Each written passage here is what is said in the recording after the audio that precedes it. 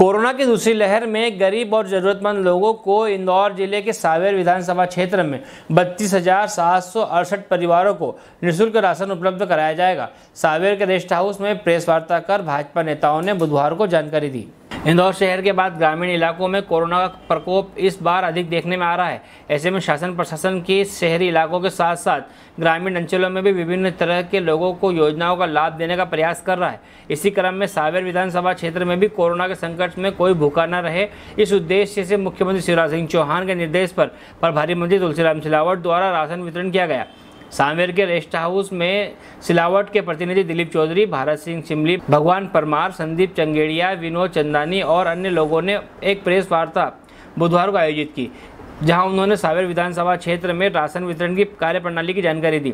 जहाँ दिलीप चौधरी ने बताया कि ज़िले के सावेर विधानसभा क्षेत्र में अब तक सत्ताईस परिवारों को निःशुल्क खाद्यान्न वितरित किया जा चुका है। सावेर विधानसभा क्षेत्र में कुल बत्तीस परिवारों को राशन उपलब्ध सरकार द्वारा कराया जाएगा। इंदौर से ब्यूरो राकेश सच्चर के साथ सतीश शर्मा की रिपोर्ट।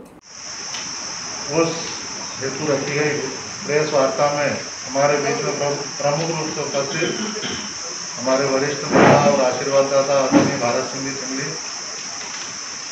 जनपद के अध्यक्ष भाई भगवान जी परमार हमारे पूर्व नगर परिषद अध्यक्ष सांवेर के भाई दिलीप जी चौधरी और सांवेर भाजपा मंडल महामंत्री भाई संदीप जी चंगेड़िया उपस्थित हुए हैं। सभी कंट्रोल से?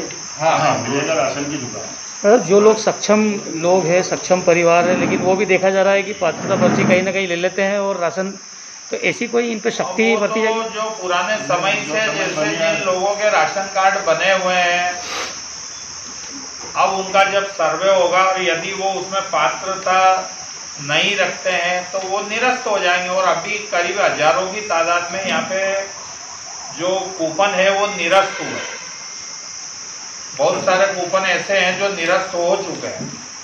अच्छा लगातार अभी शिकायत मिल रही है कि राशन की दुकान जो बड़े हनुमान जी के यहाँ पर दुकान है।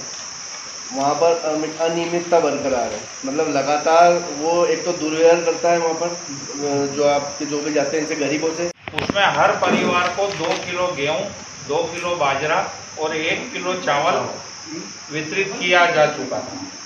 लेकिन इस महामारी को देखते हुए सरकार ने यह फैसला किया है कि बाजरे की जगह चार किलो गेहूँ, एक किलो चावल, एक किलो शक्कर और एक किलो नमक।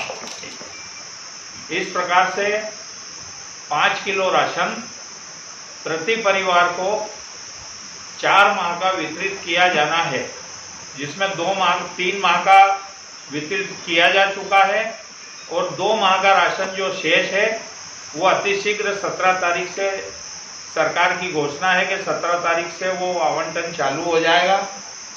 लेकिन यहाँ पे अलाटमेंट आने में कुछ समय लगा है तो वो एक आध दिन में दो मह- दो माह का और जो राशन है, वो वितरित किया जाएगा। जो जिन लोगों की पात्रता पर्ची नहीं है, उन लोगों की पात्रता पर्ची भी आपके सीओ सीओ अपना नगर पंचायत? बनाएँगे आप लोगों के कार्य नहीं, उसके लिए- अस्थायी अस्थायी पात्रता पर्ची बनेगी पाँच तीन महीने की। घर घर सर्वे हो रहा है। नगर पंचायत की टीम हर घर पे जाके सर्वे कर रही है। मान लो किसी व्यक्ति जो गरीब है और उसकी पात्रता पर्ची नहीं है तो उसकी तत्काल पर्ची बनाई जा रही है और उसको भी तीन माह के लिए उसी का लाभ दे रहे हैं। योजना का लाभ उसको दिया है तीन महीने का राशन मध्य प्रदेश की सरकार दे रही है अप्रैल मई और जून का। और दो महीने का राशन केंद्र की सरकार दे रही है मई और जून का। ये और उसमें दोनों में ये है कि पात्रता पर्ची जिनके उनको मिलेगा और जिनके पास नहीं है उनको भी मिलेगा। वो ग्रामीण क्षेत्र में जाए तो ग्राम पंचायत के द्वारा अस्थायी पात्रता पर्ची बनेगी उसको मिलेगा। गाँव में भी सर्वे चल रहा है गाँव में भी सर्वे। क्षेत्र के विधायक और माननीय सिलावट जी प्रभारी मंत्री कोविड के मध्य शासन के जल संसाधन मंत्री उन्होंने एसडीएम को ये शिकायत के लिए किसी के द्वारा मालूम पड़ी थी तो उन्होंने एसडीएम को बोला है कि हमारी भी शिकायत नहीं, और यदि कोई शिकायत में सही पाया जाए तो उसको उसका लाइसेंस निरस्त किया जाए और दूसरे को दिया जाए। वो उस चीज़ को पंद्रह दिन हो उसने उसके ये भी आदेश है वो कि मान लो ये छह बजे दुकान नहीं खोलता है हाँ। और समय पे राशन वितरित नहीं करता है तो इसको यहाँ से हटा के पूरा राशन भी सोसाइटी मार्केटिंग तो सिलावट सभी को वितरित प्रशासन को निर्देश दिए कि यदि ऐसा है तो उसको वो किया जाए। तो अब मतलब इसकी कब कार्रवाई होगी? आज मतलब। हम बताएँगे उसको। बात को बोलेंगे हम्म। वापस संज्ञान में आया कि ये समय के लिए बोलता है और एक सरकार ने योजना जो गरीबों के लिए बनाई है इस कोविड के लिए आयुष्मान योजना।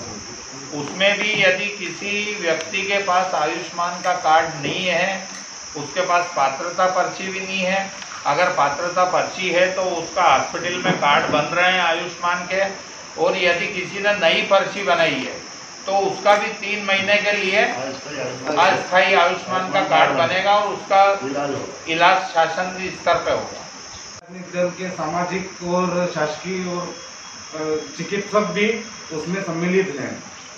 उसका मुख्य उद्देश्य ये है कि, कि हर गाँव हर वार्ड में घर घर जाकर सर्चिंग करना और जो भी कोविड पेशेंट अगर हो उस अगर होम क्वारंटाइन हो वो, और उसके घर पे अगर सुविधा नहीं हो होम क्वारंटाइन की तो तो उसके लिए वो टीम ये काम करेगी कि जो उसको कोविड केयर सेंटर के लिए उसको बोलेगी ताकि उसका सही से इलाज हो सके। और काफ़ी सहायता मिलेगी सभी, ये जो कमेटी बनी है उसको। भी तो आप लोगों से भी सबसे निवेदन है कि उसमें